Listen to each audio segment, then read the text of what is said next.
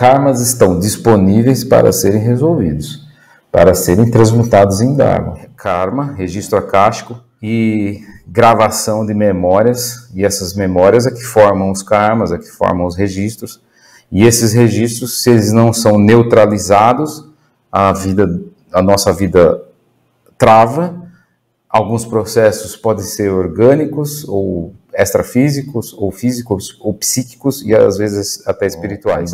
Quem faz os cursos, quem faz as ativações, os tratamentos com a gente e tal, tudo é bem mais profundo, eu explico com calma, né?